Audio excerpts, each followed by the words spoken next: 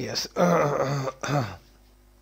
Yes प्यारे दोस्तों, नमस्कार to all of you this is Byomkesh Meher I welcome all of you कि Unacademy UPSC में आप सबकी स्वागत है।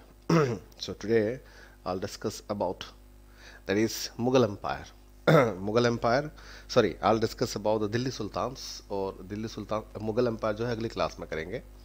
तो दिल्ली सुल्तान्स में last time I have discussed तीन मंथ्स डिस्कस कर दिया था। आज मैं डिस्कस करूँगा लोधी वंश के बारे में और सैयद वंश के बारे में, ठीक है? तो मेरी आवाज़ आप लोगों तो तक पहुँच रही है। It's audible to all of you I hope ठीक है? तो हम लोग शुरू कर देते हैं।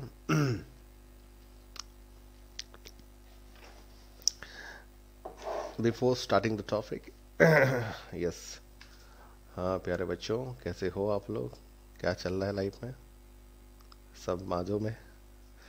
भला अच्छी, अच्छे हो। चलिए। तो किसी भी प्रकार का क्वेरीज है, किसी भी प्रकार का डाउट है, किसी भी प्रकार का मतलब सिस्टम ये है तो आप यहाँ पे जुड़ सकते हो। Unacademy at the rate Byomkesh Meher के नाम पे, जहाँ पर आपको फ्री पीडीएफ अवेलेबल हो जाएँगे। ठीक है? उसके अलावा हिस्ट्री पॉलिटी जोग्राफी इकोनॉमिक्स से किसी भी प्रकार का डाउट होगा। किसी भी प्रकार का क्वेरीज होगा तो मैं आपको यहाँ पर बता दूँगा, ठीक है? यस ऑल क्लियर नमस्कार नमस्कार नमस्कार टू ऑल ऑफ़ यू ठीक है?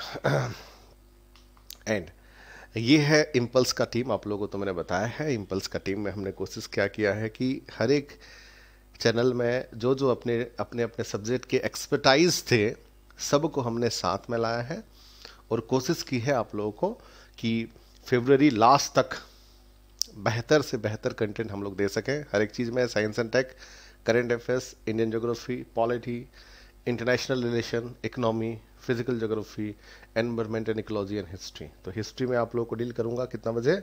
हर एक दिन जो है 9 पीएम पे। 9 पीएम पे मैं डील करूँगा हिस्ट्री, ठीक है? All deal with the history ठीक है? हिस्ट्री का मैं डील करूँगा, उसके साथ साथ आप देख सकते हो। सचिन सर हैं, मानविंदर सर हैं, दुर्गेश सर हैं, पवन सर हैं, सिद्धार्थ सर हैं, आशीर्वाद सर हैं, किंजल सर हैं, अजित सर हैं। तो ये सारे अपने अपने सब्जेक्ट पे एक्सपर्टाइज हैं। तो आपको डील करेंगे और कोशिश ये रहेगी हमारी कि फेबररी लास्ट तक जो है आपका सारा कोर्स ख़त्म हो जाए, ठीक है? तो जो सीरियसली उस चीज़ को फॉलो कर रहे हो, उनके लिए एक बहुत अच्छा मौका है। ये मेरी कोर्स चालू है 10 से 11 बजे क्विज कंपटीशन वाला, ठीक है? उसके साथ साथ पॉलिटी वाला जो चालू है इंडियन पॉलिटी ये होती है 230 पे। मेन चैनल पे होती है लेट्स क्रैकेट पे होती है 230 पे, और ये चल रहा है अभी हम लोग का, ठीक है? प्लस के फ़ायदे देखिए प्लस में आपको डेली बेसिस में क्लासेस मिलते हैं लाइव क्लासेस मिलते हैं, कुछ भी डाउट होता है आप पुटअप कर सकते हो। देन उसके साथ साथ प्री रिकॉर्डिंग वीडियोज़ रहेगा। अनलिमिटेड एक्सेस कोई भी वीडियोस आप देख सकते हैं, किसी का भी वीडियोस देख सकते हैं। ओके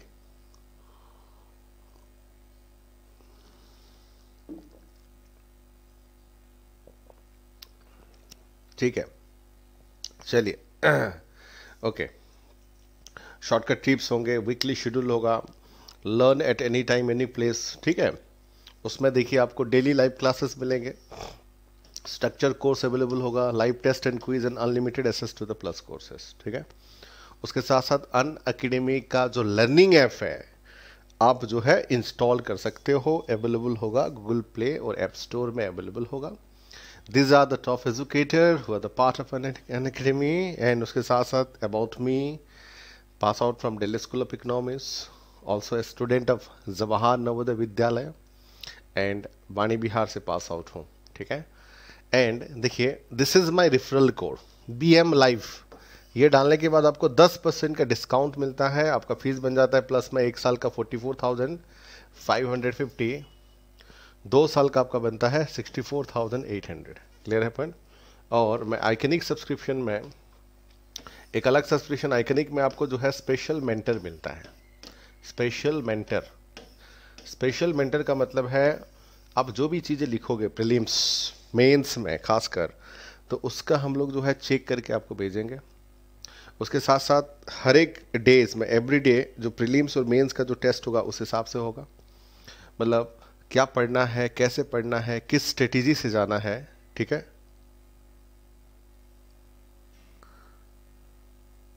किस एनर्जी से जाना है, ठीक है?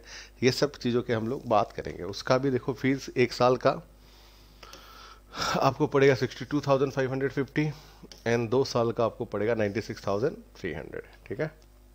और रेफरल कोड सेम रहेगा बी एम लाइव जिसमें आपको 10 परसेंट का डिस्काउंट मिलेगा। और किसी भी प्रकार का डाउट है तो Unacademy at the rate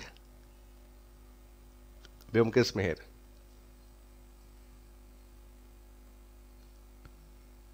मैं जुड़ सकते हो।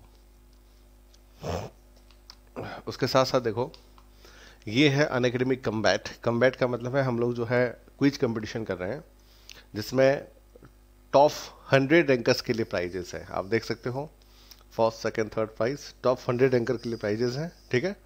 तो ये बी एम लाइव में ज्वाइन कर सकते हो आफ्टर एवरी अल्टरनेटिव संडे हर एक अल्टरनेटिव संडे में ये होती है मतलब महीने में दो बार, जिसमें सिक्सटी क्वेश्चन होते हैं फोर्टी फाइव मिनट्स में आपको सॉल्व करना होता है।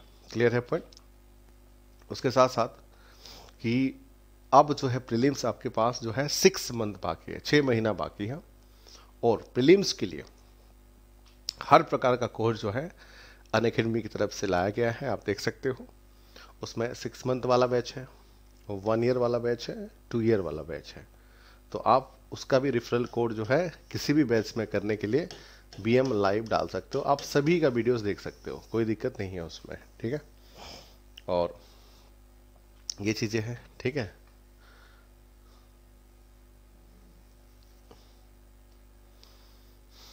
चलिए। अब मैं लेके चलता हूँ। In the last classes I have already discussed about all of you about regarding this कि slave dynasty Khilji and Tughlaq के बारे में हम लोग डिस्कस कर चुके थे, है ना?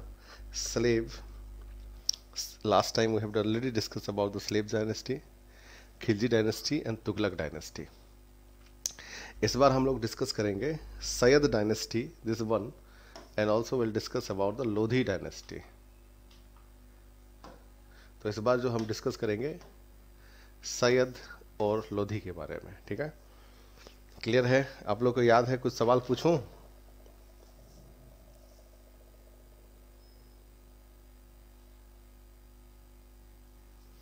एक वीडियो को कितने बार देख सकते हो? एक वीडियो को अनलिमिटेड बार देख सकते हो, ठीक है? कोई रेस्ट्रिक्शन नहीं है वीडियो देखने का। देखने का कोई रेस्ट्रिक्शन नहीं है। आप जो है अनलिमिटेड टाइम देख सकते हो। हाँ यूट्यूब में क्या होती है? यूट्यूब में ज़रूरी नहीं है कि हमेशा रहेगा। कभी हो सकता है, कभी नहीं हो सकता है। बट प्लस में आपका जब तक सब्सक्रिप्शन है, तब तक unlimited times you can watch the video ऐसा नहीं है कि जैसे कि कुछ ऐप में होती है, आप एक बार, दो बार या तीन बार या एक महीने तक देख सकते हो। यहाँ पर ऐसा कोई रिस्ट्रिक्शन नहीं है। आप जो है अनलिमिटेड टाइम्स तक देख सकते हो। क्लियर है? ये उसका बहुत बड़ा अच्छा बेनिफिट है।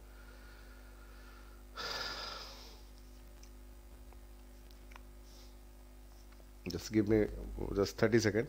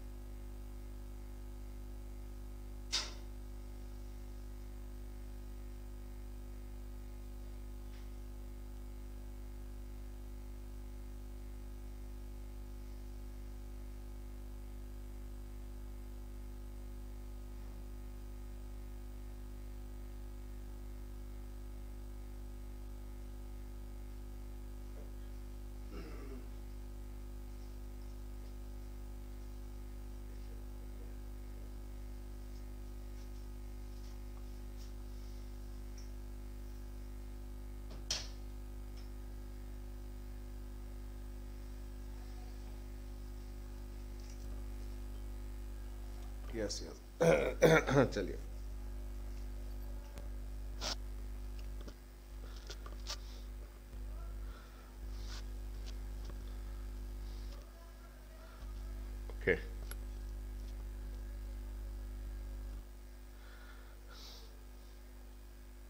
ठीक है चलिए। तो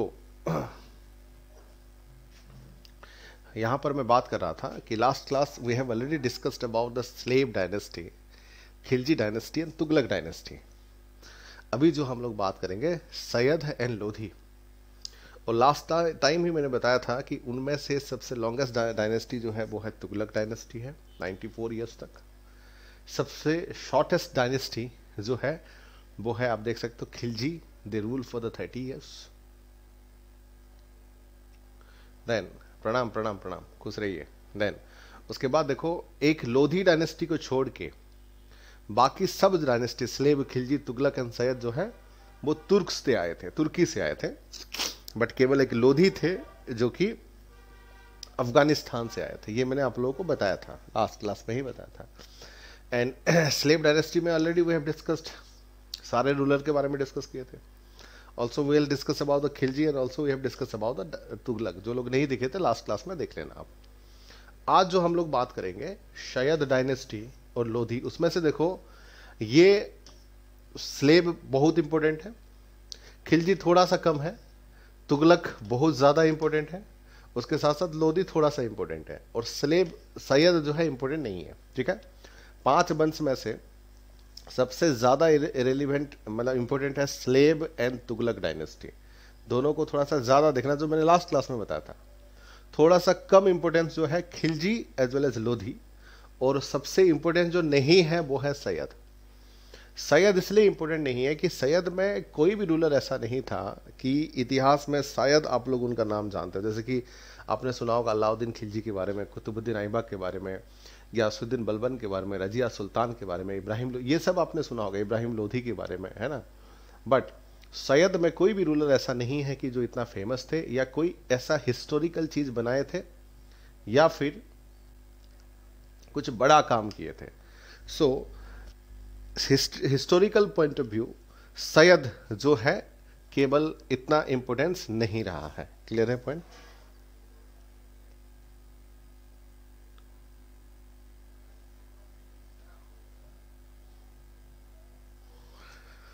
ठीक है, चलिए। तो अब हम लोग बात करते हैं तो इस हाँ सैयद को स्टार्ट करने से पहले वही चीज़ें मैं बताया था कि इतना इम्पोर्टेंट नहीं है और कोई भी रूलर जो है, इतना एफिशिएंट नहीं था। कोई भी रूलर इतने पावरफुल नहीं थे, ज़्यादा टाइम तक रूल भी नहीं किए थे। उसके साथ साथ कोई हिस्टोरिकल मोनूमेंट्स ऐसा कुछ बनाया नहीं गया था, या फिर बड़े लेवल पे कोई वार भी नहीं हुआ था। इसलिए यही सब रीज़न की वजह से सैयद डायनेस्टी जो है, इतिहास में इतना इम्पोर्टेंस नहीं रहता है। सबसे पहले हम लोग बात करते हैं खिजिर खान, जिसका टाइम पीरियड है 1414 से लेकर 1421 तक। खिजिर खान। उससे पहले थोड़ा सा आप हम चलते हैं, देखो। यहाँ पर एक चीज़ मैंने बताया था आप लोगों को कि during the time of Firoz Shah Tughlaq, Firoz Shah Tughlaq जब आए थे, फिरोज शाह तुगलक के बाद after Tughlaq dynasty after Tughlaq dynasty की बात करें तो मोहम्मद शाह तुगलक जब रूल कर रहे थे तैमूर लैंड ने इन्वेंस किया। तैमूर लैंड ने भारत के ऊपर आक्रमण किया था। तैमूर लैंड ठीक है? तैमूर लैंड आप देख सकते हो। और तैमूर लैंड को जो मदद किए थे वो है खिजिर खान। खिजिर खान ने तैमूर लैंड को मदद किए थे और मतलब तैमूर लैंड जैसे ही वो चले गए थे तो उस टाइम पे खिजिर खान को पंजाब को रूल करने के लिए छोड़ दिया गया था। और जैसे ही तैमूर लैन का डेथ हुआ था, खिजिर खान जो है दिल्ली के ऊपर भी कैप्चर करके एक नया वंश घोषित कर दिए थे, उसको सैयद डायनेस्टी कहा जाता है। मतलब this was the end of you can say Tughlaq dynasty. And beginning of the एक अलग से डायनेस्टी, सैयद डायनेस्टी। ठीक है? तो देख सकते हो, Khizr Khan capture Delhi and was proclaim the new sultan and he was the first ruler of the Sayyid dynasty also known as founder he was also known as founder of Sayyid dynasty तो इस तरह का शुरुआत जो है मतलब this was the end of Tughlaq dynasty 1414 में and beginning of a new dynasty that is the Sayyid dynasty 1414 ठीक है? ध्यान रखना 1414 में क्या हुआ था? कि तुगलक वंश पतन हो गया था, और सैयद वंश की शुरुआत हो गई थी स्टार्टिंग हो गई थी, बाय था खिजिर खान। ठीक है? ठीक है, चलिए। देन तो यहाँ से शुरुआत होती है खिजिर खान का, ठीक है? तो तो यहाँ पे जो सैयद वंश का फाउंडर है और सैयद वंश को शुरुआत करने वाले जो हैं, वो है खिजिर खान है, जिन्होंने तैमूर को पूरी तरह से सपोर्ट किया था। जब तुगलक वंश थे, उस टाइम पे तैमूर लैन ने अटैक किया था तो उसी टाइम पे उन्होंने मदद किया था। तो Khizr Khan was the governor of Multan under the Firoz Shah Tughlaq Firoz Shah Tughlaq के टाइम पे खिजिर खान जो है मुल्तान के गवर्नर था, मुल्तान के गवर्नर था। और तैमूर इन्वाइट करने के बाद तैमूर को सपोर्ट किया था। उसके बाद फिर तैमूर जैसे ही चला गया, वो दिल्ली को कैप्चर करके अपने नाम पे ही conquest the Delhi and started the ruling Sayyid in 1414 the name of Timur. Timur के नाम पे ही उन्होंने रूल करने लगा और एक नया वंश की शुरुआत हो गई थी, ठीक है? उसके बाद उसके बाद जो आए थे, मुबारक शाह आए थे। ठीक है? उसके बाद जो मैंने बताया था कि यहाँ पर कोई भी रूलर जो है इतना इंपॉर्टेंट नहीं है, केवल फॉर्मेलिटीज़ के लिए। जो जो रूलर है, मैं उनको बता देता हूँ और आएँगे, लोधी पे आएँगे, ठीक है? तो उसके बाद जो है, मुबारक शाह जो है, खिजिर खान का बेटा थे और ये थ्रोन पे आए थे 1421 में। He came to the throne in the year 1421 he was the son of Khizr Khan, ठीक है? He was a man of great vision but nobles were against him and kept revolting हालाँकि उनका vision तो बहुत अच्छा था but उनके ही प्रजा, उनके ही नोवेल्स जो है, उनके खिलाफ में काम कर रही थी। तो और उन्होंने मुबारकाबाद बनाया था। देखो मुबारक साहब built city in the bank river of Yamuna Yamuna river के साइड में उन्होंने मुबारकाबाद बनाया था। और उनको जो है एसासिनेट किया गया था। मुबारक शाह को मुबारक मुबारकाबाद बनाए थे, यमुना रिवर के साइड में, और उसको जो है मार दिए गए थे। उसके बाद आए थे मोहम्मद शाह, ठीक है, Khizr Khan was succeed by his nephew Mohammad Shah. Mohammad Shah was also very weak ruler Mohammad Shah भी जो थे, काफ़ी वीक रूलर थे, और उनका जो ऑथोरिटी केवल 40 माइल्स तक था। मतलब सोच सकते हो, अगर मैं मौर्य एम्पायर की बात करूँ अगर मैं गुप्ता एम्पायर की बात करूँ तो पूरा ऑल ओवर इंडिया में एक तरफ़ से कैप्चर थे। मौर्य एम्पायर तो इंडिया के साथ साथ अफगान, उसके साथ साथ बालूचिस्तान, कंधार, ये सब एरिया पे भी कैप्चर किया हुआ था। ये लोग जो है केवल 40 miles one mile equal to 1.6 kilometre ठीक है? तो करीब करीब चलो, सत्तर के आसपास होगा। मतलब सत्तर के आसपास जो है मतलब दिल्ली से भी कम एरिया को उन्होंने, आज के डेट में जो दिल्ली है, उससे भी कम एरिया को उन्होंने रूल किया था।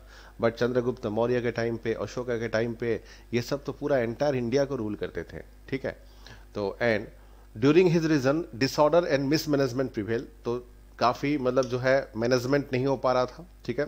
And later on the reign Mohammad Shah Bahlol Lodhi try to capture Delhi but he failed Bahlol Lodhi ने उनके टाइम पे कोशिश की थी बट बहालो लोधी जो है, इतना ज़्यादा भी कोशिश नहीं किया था और वो फेल्ड हो गया था। उसके बाद आता है आलम शाह, जिसको जिसका ईयर है 1445 से लेकर 1451 तक, आलम शाह, ठीक है? और ये जो है थोड़ा सा मतलब प्लेजर लविंग इंसान है। मतलब राजूती पे कम ध्यान देना और बाकी चीज़ों पे जो थोड़ा सा ज़्यादा ध्यान देना, ठीक है? और इतने एफिशिएंट लोडर भी नहीं है। एंड वो बडोन में रहते थे। कहाँ पे रहते थे? बडोन में रहते थे। और उनके बारे में ये है कि जैसे ही उनको पता चला कि जो है लोधी लोधी वंश वाले दिल्ली के ऊपर कैप्चर करने के लिए बैठे हुए हैं। तो और ये थोड़ा सा डरपोक इंसान भी था। इतना ज़्यादा लड़ाकू वाला नहीं था। हालाँकि इतना पावरफुल भी नहीं था। दैट इज़ द रीज़न तो जैसे ही उनको पता चला कि लोधी जो है अटैक करने वाला है बहालोल लोधी तो खुद ही सिंहासन छोड़ के चले गए थे। उसके बाद ये ये चले गए थे, बडौन में और बडौन में रहने लगे और दिल्ली का सिंहासन जो है बहालोल लोधी के अंडर में आ गया। मतलब उसके बाद जो है सैयद वंश का पतन हो गया था और लोधी वंश की शुरुआत हो गई थी। अगर पूछा जाए, कौन सा ऐसा वंश है जो बिना खून खराबे, बिना लड़ाई किए है, आ गए थे? वो है लोधी वंश।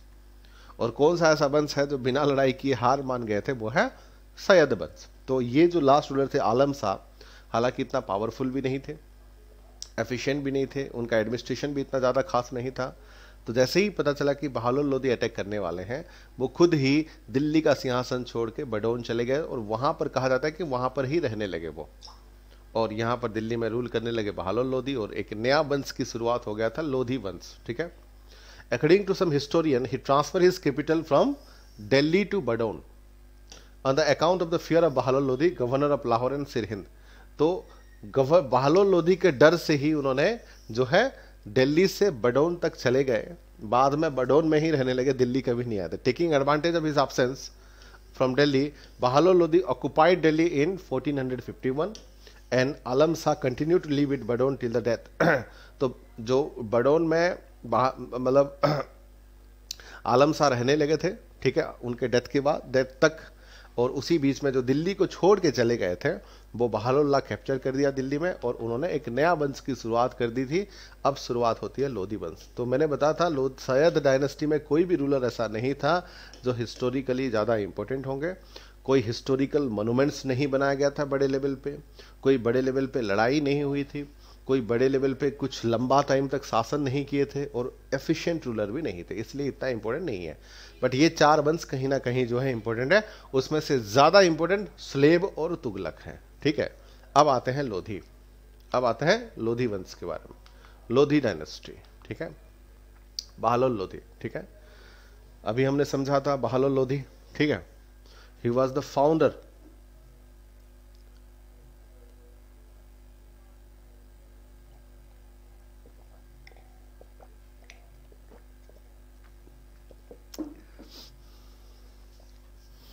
ठीक है। एक अफगान ट्राइब था, उसका नाम था लोडी उसका नाम था लोडी और उसी से बना है लोधी वंश, ठीक है? उसी से बना है लोधी वंश, ठीक है?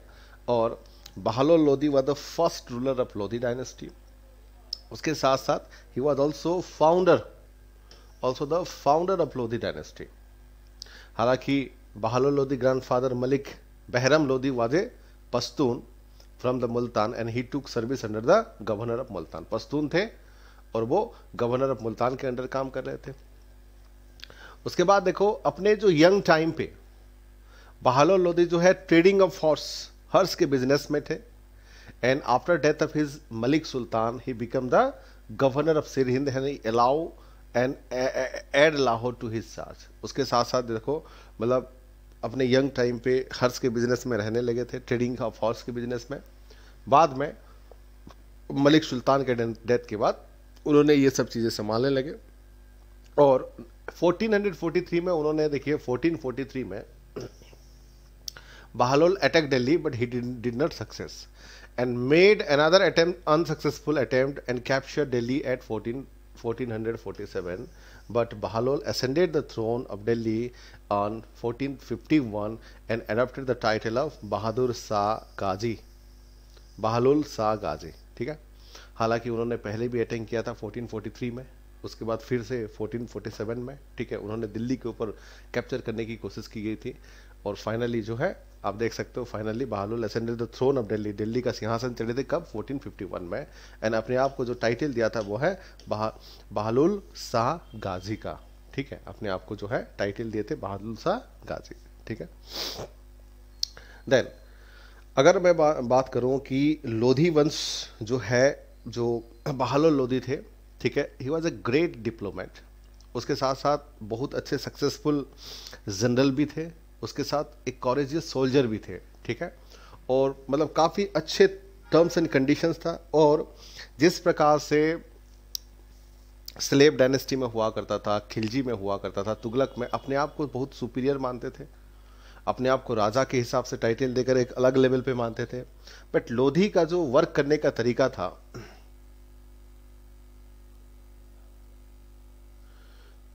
लोधी का भी वर्क करने का जो तरीका था कि अपने प्रजा के साथ बहुत अच्छा तालमेल था।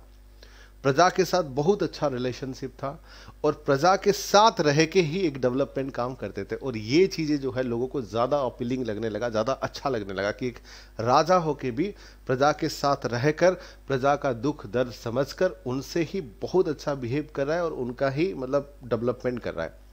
तो जैसे कि अगर मैं अलाउद्दीन खिलजी की बात करूँ, अगर गयासुद्दीन बलबन की बात करूँ, वो अपने आप को मतलब बहुत राजा समझते थे मतलब आपने मैंने बताया भी था आप लोगों को गैसुद्दीन बलबन के बारे में सिजदा और पेबस का इंट्रोड्यूस किया था। सिजदा का मतलब है सा, मतलब साष्टांग प्रणाम होना पेबस का मतलब है किसिंग द फीट ऑफ़ मोराज राजा को देखते ही मतलब पैर को चूमना तो ये सब चीज़ें था बड़ा अपने आप को बहुत मतलब ज़िले इलाही भगवान के परछाई मानते थे।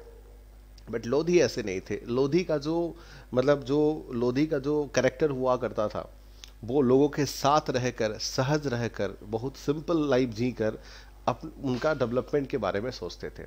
तो इसकी वजह से क्या हुआ था कि जो लोग भी उनको सपोर्ट करते थे और उनको बहुत अच्छा बिहेवियर की वजह से लोग उनको मतलब भरोसा भी करते थे उस रीजन की वजह से। उसके साथ साथ एक्सपेंशन की बात करें, ठीक है? तो आप देख सकते हो इन द ईयर मतलब उन्होंने जो है जौनपुर पे देन उसके बाद जो है ग्वालियर, जौनपुर, उत्तर प्रदेश तो ये सब एरिया पे उन्होंने टेरिटरीज पे उन्होंने रूल किया था, ग्वालियर पे, जौनपुर पे अपर उत्तर प्रदेश पे, ये सब एरिया पे उन्होंने कम्प्लीटली कैप्चर बनाया था। ठीक है एक्सपेंशन की अगर बात करते हैं तो। उसके बाद आता है सिकंदर लोधी। ठीक है देन उसके बाद आता है सिकंदर लोधी। और सिकंदर लोधी कौन है? ये बहालोल लोधी का बेटा है सिकंदर लोधी। सन ऑफ़ बहालोल लोधी ठीक है? हालाँकि he was also one of the great leader Sikandar Lodhi भी एक ऐसे मतलब one of the greatest sultans में से कंसिडर होते हैं। मतलब एक जनरल का और एक प्रॉपर एडमिनिस्ट्रेटर का और एक एफिशिएंट लीडर का या राजा का जो चीज़ें होना चाहिए, सारी क्वालिटी उसमें था। And Sikandar was the second son of sultan Bahlol Lodhi Bahlol Lodhi का जो है सेकेंड सन थे। And he expanded Lodhi territory into the region of Gwalior and Bihar in 1989 Sikandar Lodhi succeeded Bahlol Lodhi as the sultan of Delhi ठीक है? तो इन the year 1489 में सिकंदर लोधी उनका बेटा थे, बाद में बहालोल लोधी के बाद वो सिंहासन को संभाले थे, ठीक है? और अगर मैं बात करूँ कि सिकंदर लोधी के बारे में, ठीक है? कि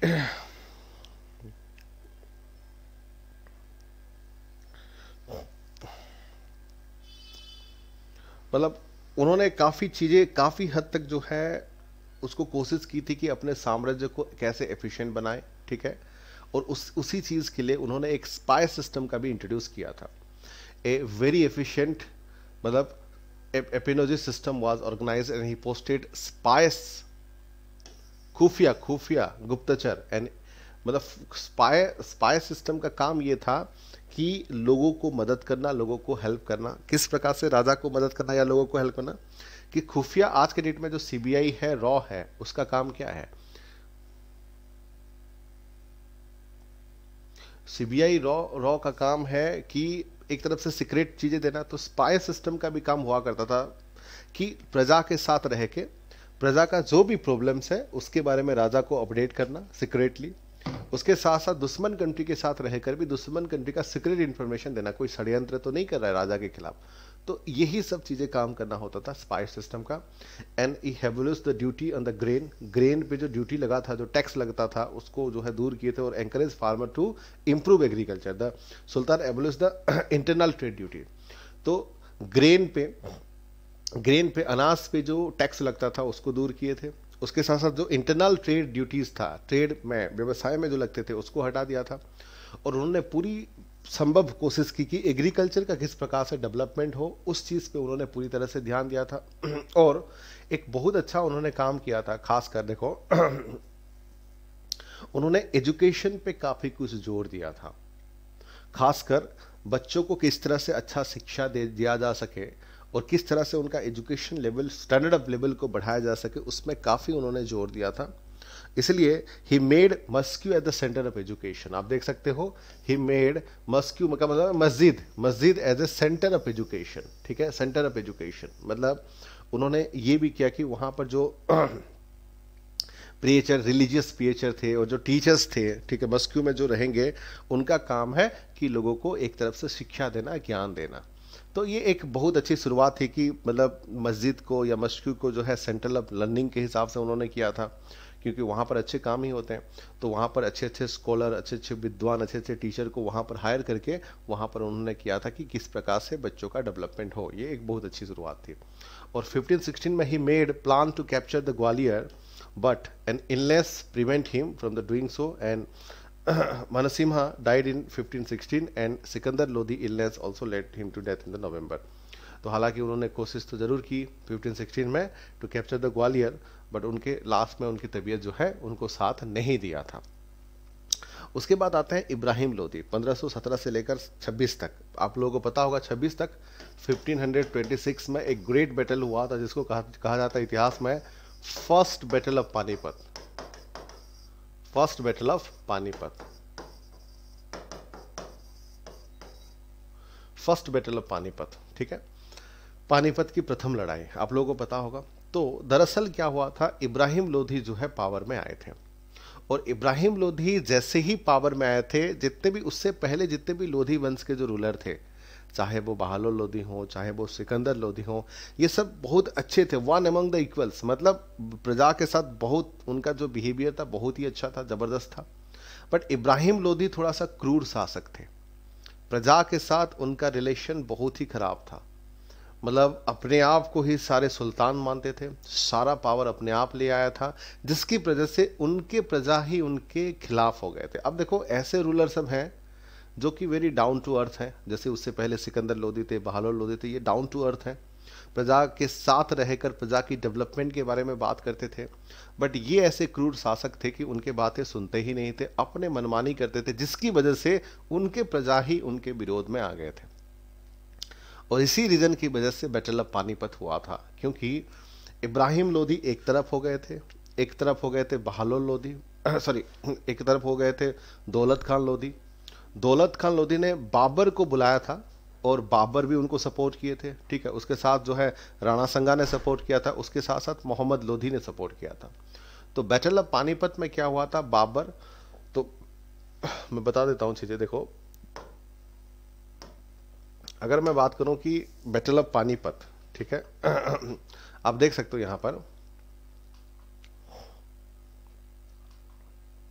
फ़र्स्ट बैटल ऑफ़ पानीपत, ठीक है? फ़र्स्ट बैटल ऑफ़ पानीपत 1526 में हुआ था। 1526 में हुआ था फ़र्स्ट बैटल ऑफ़ पानीपत, ठीक है? तो जिसमें एक तरफ़ से जो ही मैंने बात करा था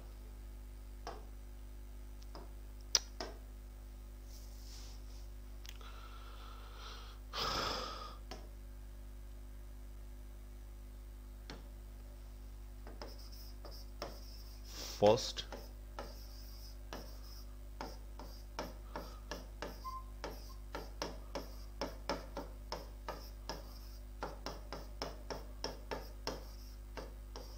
first battle of Panipat. Panipat की प्रथम लड़ाई। ठीक है? और ये दो गुट में बैठ गया था। दो गुट में क्या? एक तरफ़ थे, जो है एक तरफ़ इब्राहिम लोधी थे।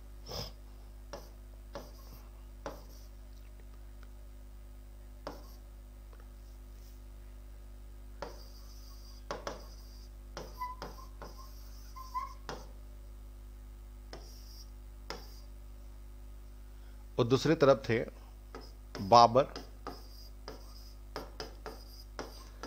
बाबर को सपोर्ट किए थे Daulat Khan Lodhi.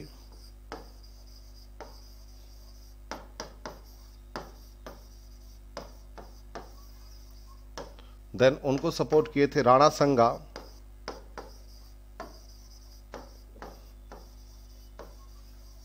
Then he was support by Mohammad Lodhi.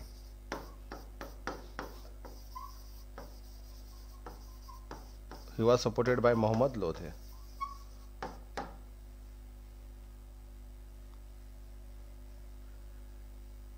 तो एक तरफ़ थे Ibrahim Lodhi first battle of Panipat में इब्राहिम लोधी एक तरफ़ से थे। तो इब्राहिम लोधी जैसे ही क्रूर हुए थे तो दौलत खान लोधी राणा संगा मोहम्मद लोधी के साथ साथ ये लोग जो है बाबर को एक साथ बुलाया गया था। बाबर तो एक साथ ये चारों थे और एक, एक साथ जो है इब्राहिम लोधी थे। और उसका नतीजा क्या हुआ था? कि बाबर ने तोप का इस्तेमाल किया था, आर्टिलरी का इस्तेमाल किया था गन पाउडर का इस्तेमाल किया था, जो कि यूरोपियन टेक्निक है, और इब्राहिम लोदी को हरा दिया था। तो इब्राहिम लोदी को हराने के बाद, देखो चीज़ें क्या क्या हुई थी, मैं रिज़ल्ट बता रहा हूँ। 1500 मतलब ये घटना कब है? 1526 की बात है। तो 1526 इसलिए इसलिए इंपॉर्टेंट है, पहला चीज़ तो बैटल ऑफ़ पानीपत हुआ था।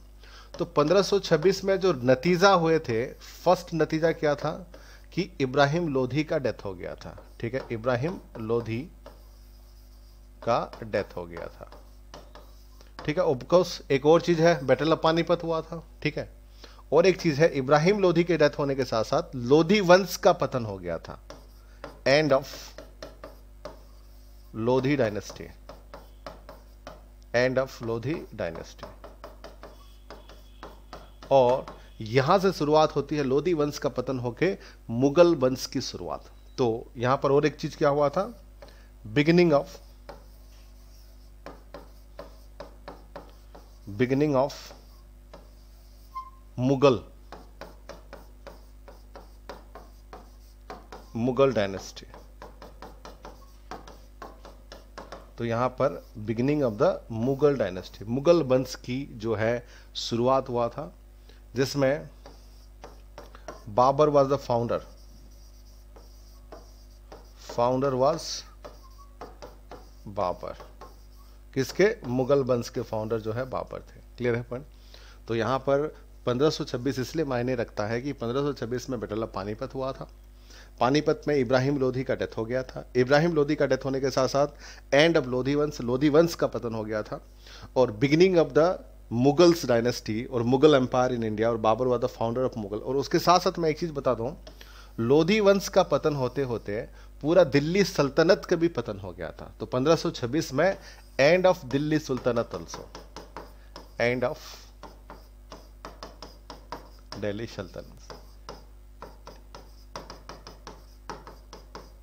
So Delhi मतलब लोधी वंश का पतन होते होते दिल्ली सल्तनत के भी पतन हो गया। दिल्ली सुल्तान का भी पतन हो गया था। इसलिए 1526 जो है, ज़्यादा मायने रखता है। इसलिए, ठीक है? तो ये सब चीज़ें ध्यान रखना है। और बाबर को किसने न्योता दिया था? दौलत खान लोधी ने बाबर को बुलाया था। ठीक है? क्योंकि इब्राहिम लोधी भी पावरफुल था। उनको हराना है तो वो बाबर ही हरा सकते थे। बाबर को European technique artillery gunpowder का इस्तेमाल करना आता था। तो इसलिए उन्होंने उनको बुलाया था। ठीक है? तो ये थी about that is Ibrahim Lodhi के बारे में ठीक है? तो इब्राहिम लोधी जैसे ही पावर में आए थे अफ, जो अफगान थे मतलब जो रूलर थे उनके खुश नहीं थे उसके साथ साथ डुअल्टी मतलब अपने देखो he brought the ideas of dual monarchy which was suppressed by Sikandar Lodhi was revived against by the Ibrahim Lodi and he installed his brother Jalal Khan as the independent ruler at Jaunpur even though his senior did not like the ideas of brother of reigning the same kingdom देखो, एक चीज़ है, यहाँ पर एक चीज़ें उन्होंने लाया था कि डुअलिटी जिसको कहा जाता है। जैसे कि dual system of the government आपने सुना होगा मतलब दो प्रजा रहेंगे, दो राजा रहेंगे, उसमें और भी कन्फ्यूज़न ज़्यादा होने लगा। एक है वो खुद रहेंगे और एक है जलाल खान रहेंगे। उसमें कन्फ्यूज़न और ज़्यादा आने लगी, उसमें जो है और ज़्यादा मिक्सअप होने लगा। डिस्प्यूट नोवेल्स में जो है डिस्प्यूट भी होने लगी थी। तो यही सब, और उसके साथ साथ जो मैंने बताया था कि सारे पावर अपने अंडर ले आए थे, जिसकी वजह से उसके खिलाफ राणा संगा भी हो गए थे, उसके खिलाफ जो है दौलत खान लोधी भी हो गए थे, मोहम्मद लोधी भी हो गए थे तो ये सब फ्रस्ट्रेशन के कारण जो है बुला लिया था, जिसको बैटल ऑफ़ पानीपत कहा जाता है। और बैटल ऑफ़ पानीपत में मैंने अभी बताया था आप लोगों को, ठीक है, एक तरफ़ से बाबर, एक तरफ़ से राणा संगा, दौलत खान लोधी, मोहम्मद लोधी और बाबर और बाबर ने पूरी तरह से लोधी को खत्म कर दिया था, और this was the end of Lodhi dynasty तो यहाँ से जो है ख़त्म हो जाता है लोधी वंश और यहाँ से शुरुआत हो जाता है मुगल वंश की, ठीक है? तो यहाँ हमने डिस्कस किया था स्लेब डायनेस्टी खिलजी, तुगलक, सैयद, लोधी, फिर से मैं बता देता हूँ, सबसे ज़्यादा इंपॉर्टेंट है स्लेब डायनेस्टी डबल क्लिक कर रहा हूँ। उसके बाद जो है तुगलक, ये दोनों सबसे ज़्यादा इंपॉर्टेंट है। जो इंपॉर्टेंट नहीं है एग्जामिनेशन के लिए, थोड़ा सा छोड़ा जा सकता है, वो है सैयद है। और थोड़ा सा कम इंपॉर्टेंस दिया जा सकता है, वो है खिलजी को और जो है लोधी को। खिलजी को, लोधी को, ठीक है? और भी चीज़ ध्यान रखिए, ये जो स्लेब वंश में चार रूलर मेन है, ठीक है? स्लेब वंश में चार रूलर सबसे मेन है, ठीक है? एक है कुतुबुद्दीन आइबक। कुतुबुद्दीन आइबक। दूसरा है शामशुद्दीन इल्तुतमिश। इल्तुतमिश शामसुद्दीन इल्तुतमिश, तीसरा है रजिया सुल्ताना। रजिया सुल्ताना। और चौथा जो है, वो है ग्याशुद्दीन बलबन। तो ये फोर रोलर उसके बाद जो केकुआबद है, नासरुद्दीन शाह है, ये मसूद, ये सब इंपॉर्टेंट नहीं, ये चार रोलर मैन है स्लेब वंश के, कुतुबुद्दीन ऐबक इल्तुतमिश, रजिया सुल्ताना ग्यासुद्दीन बलबन। उस प्रकार से खिलजी डायनेस्टी के खिलजी डायनेस्टी के, देखो, खिलजी डायनेस्टी तीन तीस तीस तीस साल तक ही रूल किया था। थर्टी ईयर्स में एक ही रूलर ऐसे थे, अलाउद्दीन खिलजी, जिन्होंने बीस साल तक रूल किया था। उसके बाद जो जलालुद्दीन खिलजी हैं, ये सब जो है, इतना इंपॉर्टेंट नहीं है। तो एक ही रूलर इंपॉर्टेंट है, वो अलाउद्दीन खिलजी तीस साल में से बीस साल तो उन्होंने ही रूल किया था। तो एक ही रूलर याद करना खिलजी में, वो है अलाउद्दीन खिलजी। अलाउद्दीन खिलजी।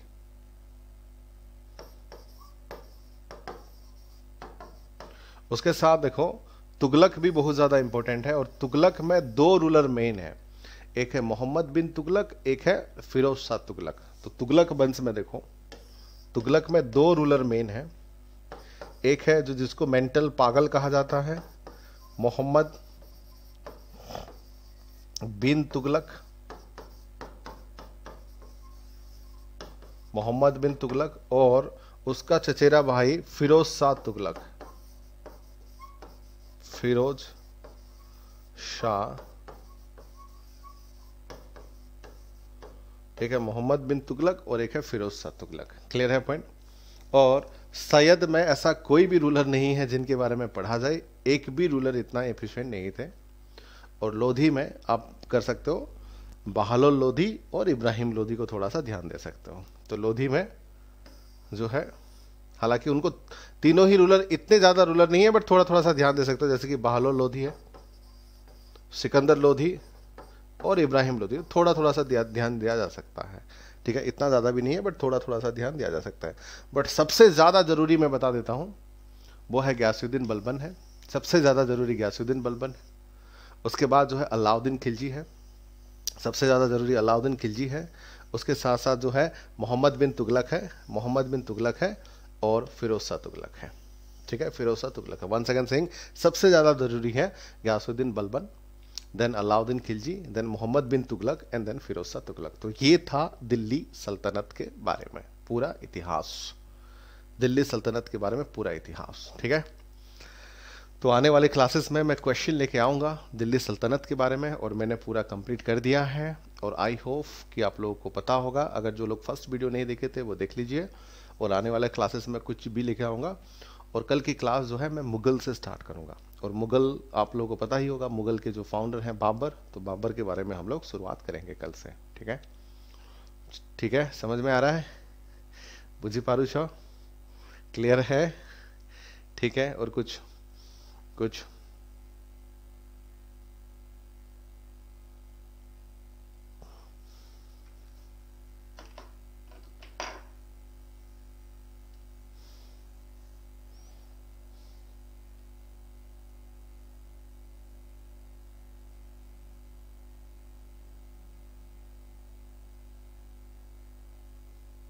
विजयनगर एम्पायर इतना इंपॉर्टेंट नहीं है। Thank you Muskan thank you Ashutosh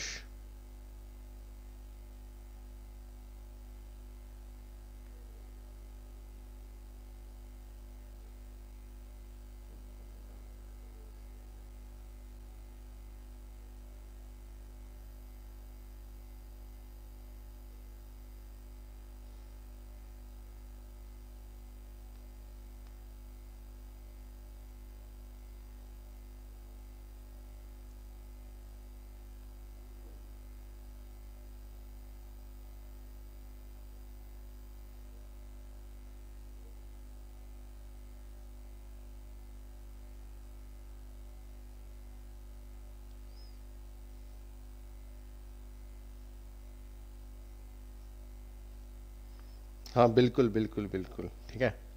चलिए ये क्लास जो है कम्प्लीटली फ्री ऑफ़ कॉस्ट है और उसमें नॉट ओनली हिस्ट्री आपको polity geography economics physics sir एक हर एक चीज़ें हैं ठीक है? आ, जो उसका वैल्यू समझ रहा है उसको बताने की ज़रूरत नहीं है। और जो वैल्यू उसका समझ नहीं पा रहा है तो हम क्या कर सकते हैं उनके लिए? हम ये है कि अपने तरफ़ से फ्रीली क्लासेस आप लोग को दे सकते हैं बेस्ट से बेस्ट कंटेंट दे सकते हैं पूरा समझाने की कोशिश कर सकते हैं ठीक है? और ये कोशिश जारी रहेगी, ठीक है, हमेशा जारी रहेगी, ठीक है, क्योंकि उनके कुछ कुछ लोगों को बहुत फ़ायदा, मैं समझता हूँ कि होगा डेफिनेटली होगा, ठीक है। ओके कोई नहीं, हम लोग टॉपिक डिस्कस कर चुके हैं ऑलरेडी बहुत सारे टॉपिक पे। जैसे कि इंडस वैली सिविलाइजेशन है वैदिक कल्चर है हिंदुज़म है जैनिज़्म है then again we have discuss Maurya empire Gupta empire और सारे जो है slave dynasty Khilji Tughlaq Sayyid and Lodhi dynasty तो यहाँ तक शुरुआत हुई है। अब और भी, अब जो है, अब मुगल का जो दौर आएगा बाबर, ठीक है, मैं समझता हूँ कि हिस्ट्री में सबसे ज़्यादा जो क्वेश्चन पुटअप होता है बाबर से 1526 से बैटल ऑफ़ पानीपत से, ठीक है? एक चीज़ मैं बता देना चाहता हूँ, थोड़ा सा अब जो है, अभी तक भी इंपॉर्टेंट था ऐसा बात है कि, नहीं है कि नहीं था बट अब का जो दौर आएगा 1526 से हम लोग जो स्टार्ट करेंगे 1526 अब क्या हो गया? लोधी जो है डेथ हो गई थी, अब इब्राहिम लोधी का, लोधी वंश पतन हो गया था। पूरा दिल्ली सल्तनत पतन हो गया। अब एक नया वंश आ रहा है, वो है बाबर। शुरुआत करते हैं मुगल वंश का, ठीक है? जिसमें आएँगे बाबर, आएँगे हुमायूं आएँगे शाहजहान आएँगे अकबर आएँगे, ठीक है? तो औरंगज़ेब, ठीक है? तो ये सब रूलर मेन मेन रूलर आएँगे। उसके साथ साथ आधुनिक भारत की तरफ़ हम लोग जाएँगे। तो इतिहास का जो मेन क्वेश्चन प्रिलिम्स और मेंस में अब से बाबर से शुरुआत होगा। तो मैं चाहूँगा ठीक है, कि अब से जो है क्लास में थोड़ा सा रेगुलर रहिए और हम लोग पूरा 1947 तक, देश को आज़ाद करने तक यहाँ पर हम लोग मेरी जो है क्लास रहेगी यहाँ पे, ठीक है? चलिए तो thank you all of you तो मतलब thank you and all the best good luck for your career and हमेशा पढ़ते रहिए और अच्छे से पढ़ते रहिए, ठीक है? आपको मतलब कोशिश ये रहेगी हम लोगों की कि बेस्ट से बेस्ट कंटेंट दिया जाए और आप लोगों को ज़्यादा से ज़्यादा मदद किया जाए जब आपको प्रीलिम्स और मेंस में हेल्पफुल होगा, ठीक है? जो अच्छा कमेंट कर रहे हो, उनको भी धन्यवाद। जो बुरा कमेंट कर रहे हो, उनको भी धन्यवाद। कोई दिक्कत नहीं है, ठीक है? कोई दिक्कत नहीं है। आप सबकी अपनी अपनी विचार है और संविधान ने सबको अधिकार भी दिया है राइट टू स्पीच का, ठीक है? तो बोलने का सबकी अधिकार है। तो अधिकार का आप ज़बरदस्त आप अपने हिसाब से फ़ायदा उठा सकते हो, उसमें कोई दिक्कत वाली बात नहीं है। चलिए thank you all have a nice day take care same time पे होगा बेटा सेम टाइम पे होगा, ठीक है? सेम टाइम पे होगा। नौ बजे, ठीक है? आज तबीयत ख़राब था, पढ़ा रहा हूँ, ठीक है? बट कल शायद वो ठीक हो जाऊँ, ठीक है? कल से रहेगा फिर क्लास ठीक है? चलिए टेक केयर गुड नाइट